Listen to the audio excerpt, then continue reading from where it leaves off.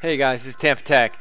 In this video, I'm going to show you how to edit your already uploaded videos that are on YouTube getting views. So if you have like a couple thousand or 5,000 views and you have a lot of comments and your video is doing pretty good and you want to make a correction, delete a scene, or you want to edit it, uh, put in music, you could do that without affecting your original video that you uploaded. And you'll preserve your views and your comments. So let's go ahead and get started. You want to sign into your YouTube account that the video is assigned to. And then right below that video, you'll see an option bar. You want to click on that magic wand, enhancements. Right here. Now this is the YouTube editor. You can also get to it by clicking your profile, then go to Creator Studios, Video Manager, then Videos. Under Enhancements, this is the YouTube editor. Now you can add music I'm going to show you how to do that a little later on. And But right now we're going to show you how to delete a scene inside the video. Now, you can edit your video um, and save it as the original only if um, before it hits 100,000 views.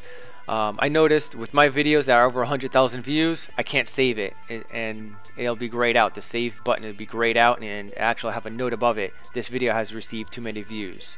So now you're in your video. Let's go ahead and click on trim and then go to the part where you want to edit out. So right here for me, I'm just gonna, I don't have to edit this video if I don't want it. This video is fine, but I'm just you know using this as a demonstration. Alright, so right here at 308, I'm gonna edit.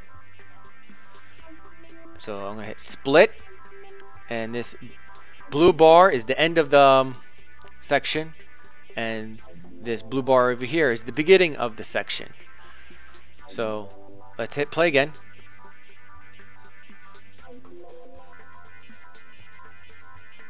Alright, so right there at 315, you want to hit split again and the blue bar will move over here.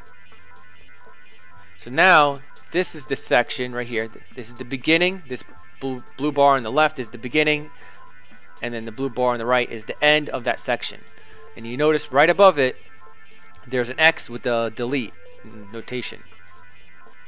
So let's click on delete. So now you'll notice right here there's a space. But don't worry, it's going to look very smooth looking. Alright, so now we're going to click on done if you're done, if you want to save it.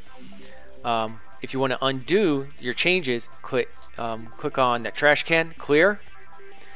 But I don't want to do that. I want to save it. So I want to hit done. Alright, and then you want to check it out and see. Let's check it out.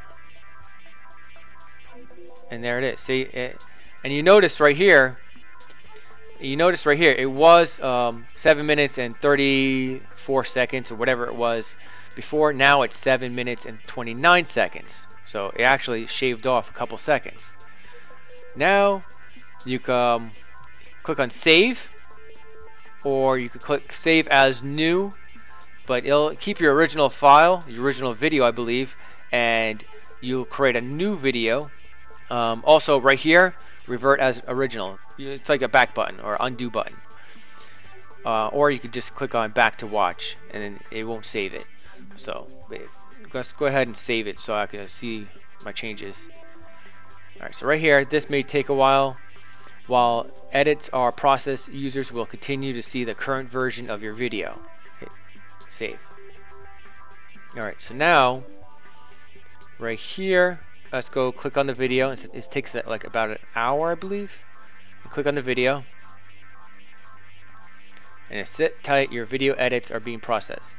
So it'll take about like an hour or so. Now, if you want to add music to your video, you want to go to Video Manager, go to your videos, click on that little down arrow, audio. Alright, under audio, you'll notice right here featured tracks. So these are the top tracks. I could click on this one, Cold Killer. Alright, so if you position this slider right here to the right, it will be only music playing. No sound effects on my outro. Now if I move it all the way to the left, it, it's you're not going to hear the music at all. But if you slide it a little bit to the right, basically you'll hear the music and the sound effects on my outro.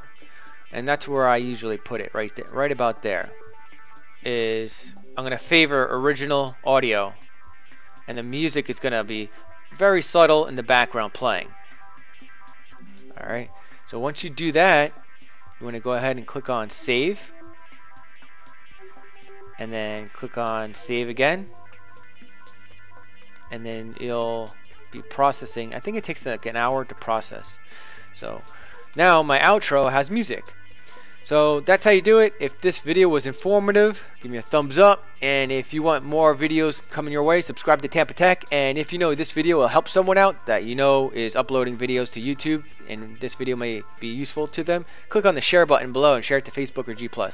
Later, guys.